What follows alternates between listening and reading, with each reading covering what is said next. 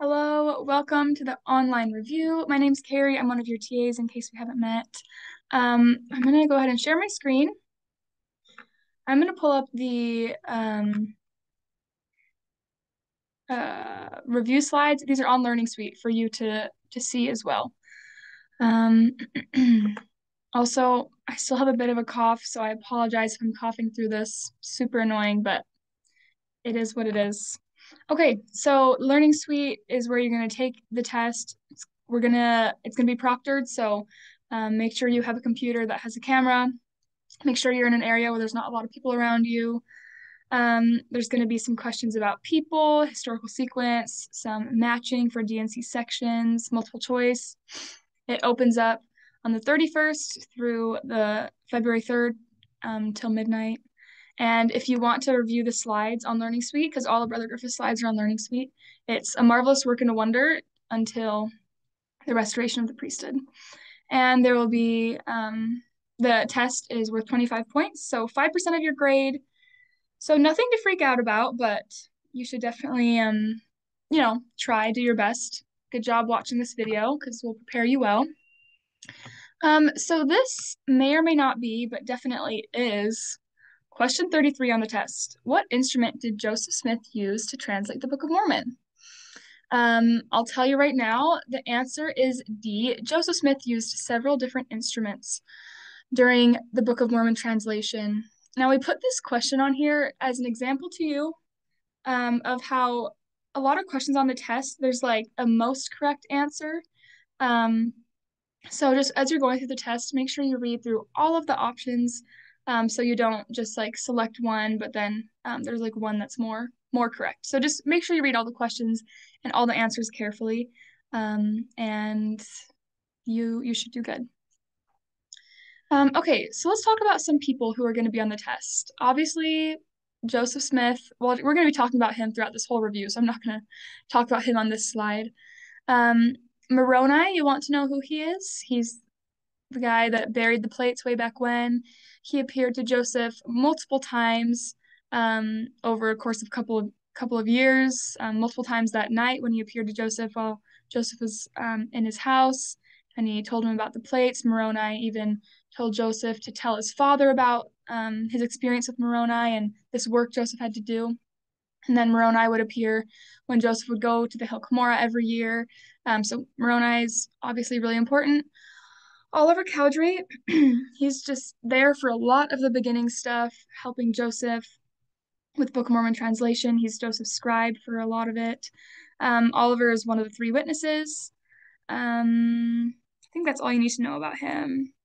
Um, I guess Oliver's where we get sections eight and nine of the Doctrine and Covenants um, because he tried to do some translation and wasn't really successful. And so we have these sections that talk about the spirit of revelation, which are really cool.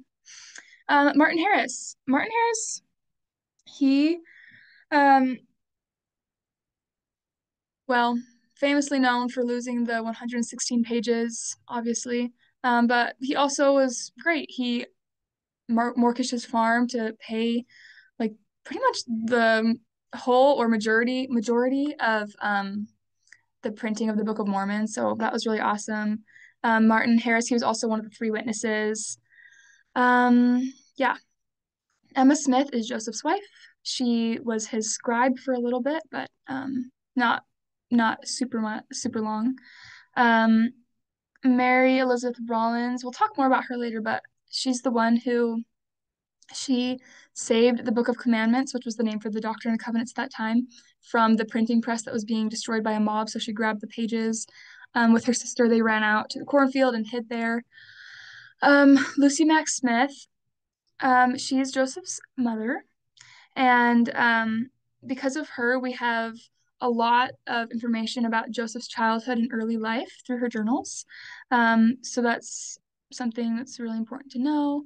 Joseph Smith Sr., um, this is Joseph's father, really supportive, awesome guy. Like I said, Moroni commanded Joseph to tell his father about his vision. Um, and Joseph Smith Sr. was actually the first patriarch of the church, which is cool. Um, let's see, Orson Pratt. So Orson Pratt was the one who, um, this is like after Joseph died. He organized the Doctrine and Covenants into sections and he added 25 new sections. Um, those weren't like, so the new sections he added were existing revelations that Joseph Smith had, but they just weren't in the Doctrine and Covenants at that point. But he was like, these are great. They should be in the Doctrine and Covenants. So he's the one that did that. Um, David Whitmer, he was one of the, the three witnesses. Um, he leaves the church, but unlike the other two, he never comes back, but he never denies his testimony, which is awesome. Um, yeah. And John Whitmer, John Whitmer, he was the first church historian, and I think that's all you need to know about John Whitmer. Okay. Um, so you don't need to know these dates. You'll never have to know dates on the test, but you will want to have a general idea of like important events that happened in these time periods. Um, so for example, if the test was like, when was the first vision? You could select beginnings, right? That happened at the beginnings. Um, so we've only like, at this point in the class, only talked about the beginnings. So um, I'm going to give you a few other things that happen in these other time periods so you can be prepared for the test um, if it asks about other stuff. So in the beginnings, um, obviously the first vision happens. Um, Joseph marries Emma Smith. Um, priesthood is restored. Joseph and Oliver work on the translation of the Book of Mormon at this time. Um, I think that's it. You need to know two church centers. So this is when the saints are in Ohio and Missouri. This is when Kirtland, Ohio temple is dedicated. Um, uh, what else? I think that's it. Nauvoo. Um, this is where Joseph is martyred. Um, this is where baptisms for the dead are introduced. This is where um, plural marriage as a whole is introduced to the church. Um, we like Joseph had received a relation about plural, plural marriage before then, but it's like introduced to the church as a whole at that time period. Um, Nauvoo, this is when Joseph announces he's going to run for president of the United States, which I, that's not on the test, but fun fact. We'll learn about that later. Um, yeah, that's it. Church in the West. Um, Church in the West, we talked about in class how this is the time when we got a lot of interviews of people who were involved in the church, like from the beginnings of the two church centers in Nauvoo. So after things settled down, after the saints came across the plains there in the West, um, that's where we get a lot of these interviews um, from. And expansion, this is when the church starts saying, you know, don't come to us, go to your local church buildings, your local temples, because up until this point, the missionaries would go out and say, like, come to Zion. Um, but during expansion, they're like, no, stay where you are and um, meet with your local congregations. Um, worldwide church, um, in class, we talked about official declaration number two, um, which lifted the ban of the priesthood. Um, so that was that happened during the worldwide church. Name that section. If you just memorize this slide, you'll do great because there's five questions that ask about which section is what and just, yeah, memorize this slide and you'll get those five points. Um, there will probably be a question asking about the sequence of these events. So look over this slide, make sure you understand this timeline. The first vision, then the priesthood is restored, then the Book of Mormon comes forth, forth law of consecration is given, and so forth. Um, if these are all on the test, make sure you can put them in order. Okay. Core doctrine, supporting teachings, policy, and esoteric. So um, we're not going to try and trick you on the test. There's not going to be a question like baptism. Is it core, supporting, policy? Like we're not going to do that. Um, just make sure you understand, you know, a definition of what these things are. Um, so, for example, Brother Griffiths talked about baptism being a core doctrine. So, a supporting teaching might be um, baptisms for the dead, because it's just a logical extension of that core doctrine. Um, supporting teachings are obviously very important. Um, they don't change as much as policy teachings, but I guess they could change. Um, if we're going with the example of baptism, a policy teaching might be um, like who can witness a baptism, um, like who can be a witness. That's changed even in our lifetime. Um, so those change often, can change often. Um, esoteric teachings are things that are true, but we just don't know a lot about them. So, um, for example, Heavenly Mother, maybe. We know that we have a Heavenly Mother, like we know that's true, we believe it, but we just don't know a lot about her. Um, so if people are doing deep dives into Heavenly Mother, it's like that's kind of an esoteric teaching, true, but just don't have a lot of info. Um, okay, so you should be good on that. Just make sure you can identify these four things and have a general idea of what they are, but there's not going to be like a trick question with an example or anything. Um, what is a good source of doctrine? So something that is current, correlated, and published. If you want to memorize CCP to help you remember on the test, that's great. Um, so I think this is pretty self-explanatory. Um, something that's current, meaning like obviously Joseph Smith said a lot of things back in his day that are very true that we still believe, but um, it's a good source of doctrine because prophets now still teach the same things that Joseph did then. So, how current is it? How current is it has been taught? Um, correlated? Does it correlate with other sources? Um, if one apostle or someone says one thing, might not be a great source of doctrine if no one else is talking about it. Um, and published, if something's on like the church website, that's great source of doctrine. And kind of switching gears to reliable historical source specifically, I have five things here. um, is it a primary source? Um, we have primary sources of the first vision, so that's like great source, right? Because Joseph's writing, "I saw God the Father and Jesus Christ," right? Um, contemporary account. Um, contemporary would mean like when was the account given of what happened. So if Joseph didn't talk about the um, first vision until, um, you know, like years later, which is true actually. Most of the accounts are given years later, but something to take into account when you're talking about something that happened in the past. Like, when are you hearing about it? Is the primary source recent or not? Um, intent and tone does the author have some kind of bias, um, some kind of agenda? relationship to other sources.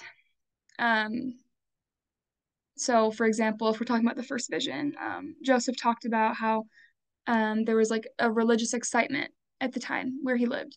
So, can we look at other sources? And did they also talk about there being religious excitement in the area? And they did. Okay, that's great. So, great relationship to other sources. And factual inference. Um, um, this is like checking the facts. So Joseph said he went to a grove of trees and prayed. So we can look back and be like, well, is there even a forest near his house? Oh, there is. There's there's a grove. So great. Factual inference. Um sorry.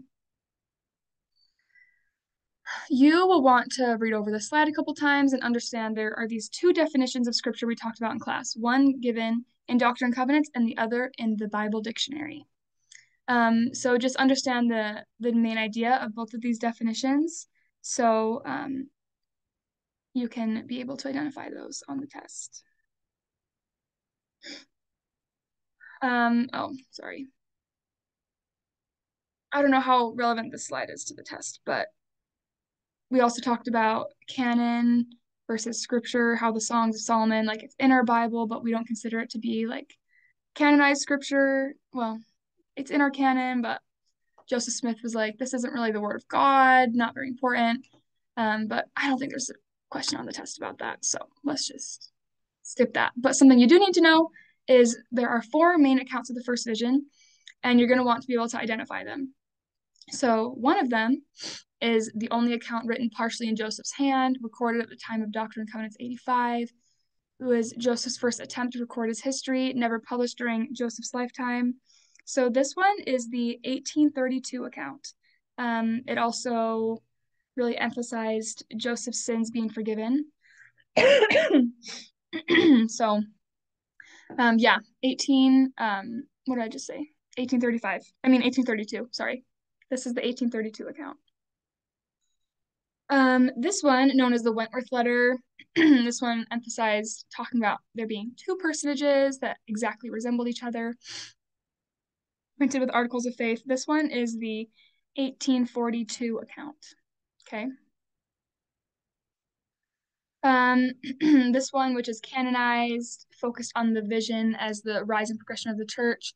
Um, it's in our scriptures. Missionaries quote this on the daily. This one is the 1838 account. 1838. And lastly, this would be the 1835 account. Um, Joseph um, gave this account. He's so written to Joshua, the Jewish minister. You might remember kind of a crazy story about him. He was like a murderer and um, was like claiming to be God or something. And Joseph was like, actually, I've met God and I've met Satan. Um, so kind of talks more about um, Satan's presence there.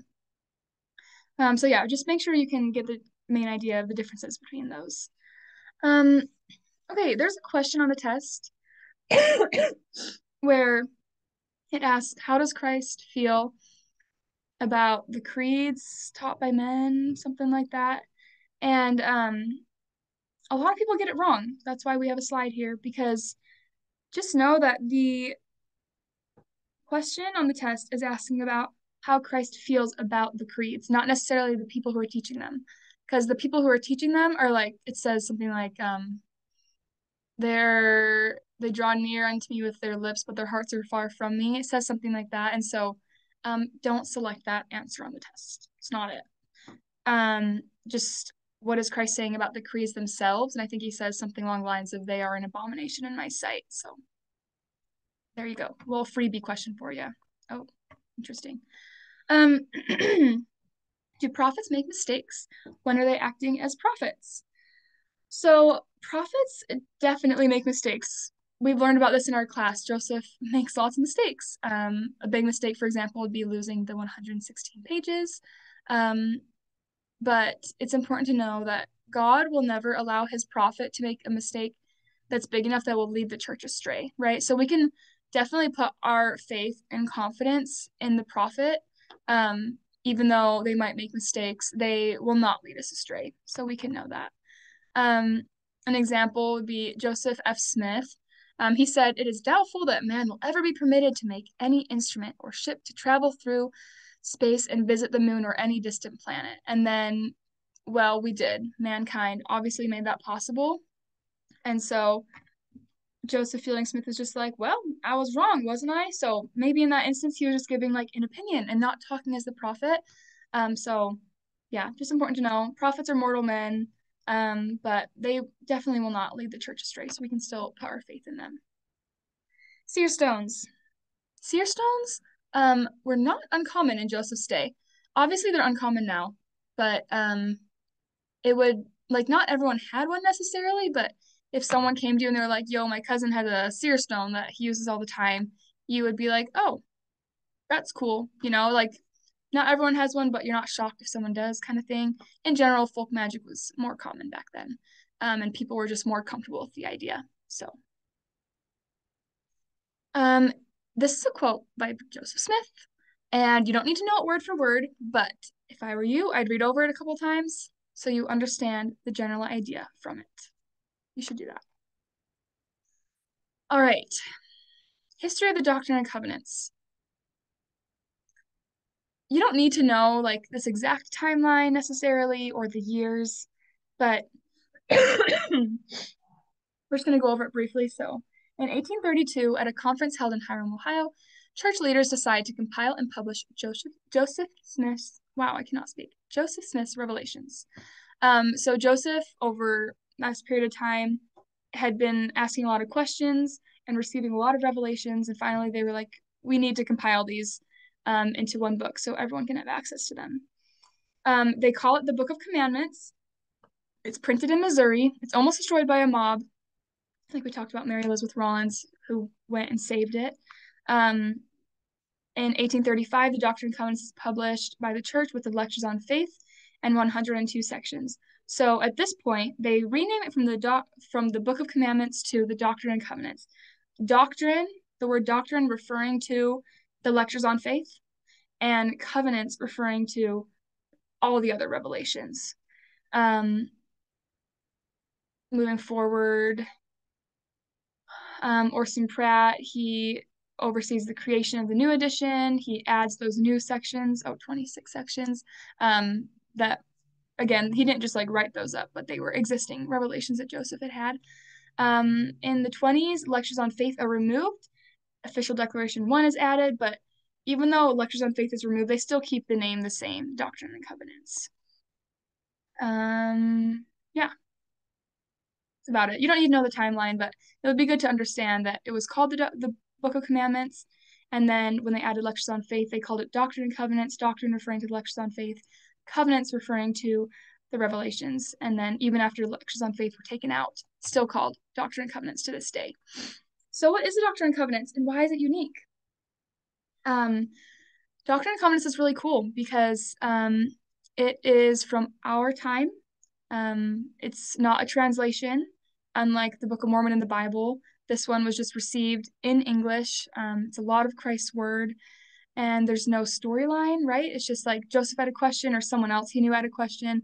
Joseph would go to the Lord, and then he would receive an answer, and it would become like maybe a new section of the Doctrine and Covenants. Um, and in class, we talked about how the Doctrine and Covenants is not necessarily finished, but we could still be adding to it. Um, which diagram best represents the relationship of the different orders of the priesthood? I feel like I need to delete this slide.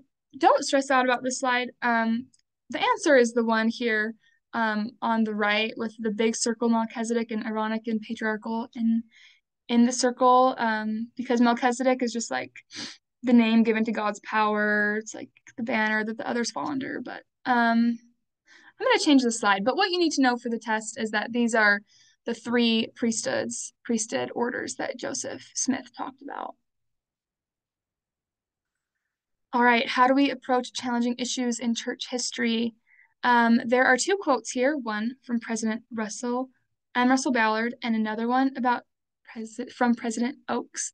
Um, it would be a good idea to read over both of those quotes. Again, you don't need to worm, need them. Oh, can't talk right now. You don't need to know them word for word, but you should get the main idea. Um, so that if it asks you on the test, what did President Oaks say about teaching difficult or about challenging issues in church history, you'll be like, oh, I know just of what he said. Okay. And um, this quote says, our foundation is the gospel of the Lord Jesus Christ. The authority of the holy priesthood is here, restored under the hands of those who received it directly from our Lord. The curtains have been parted, and the God of heaven and his beloved Son have spoken to the boy prophet Joseph in opening this last and final dispensation. Our burden in going forward is tremendous, but our opportunity is glorious. President Gordon B. Hinckley. This quote is not on the test, but it's a great quote, and I hope you feel empowered and excited to keep learning about the restoration. You guys are going to do so good on this test. Um, please read over sections 1 and 13 again because there may or may not be, but definitely are questions on those sections. So, you guys are going to do awesome. Um, once the test opens, we can't really be answering a lot of questions. Um, but you'll do great and good luck.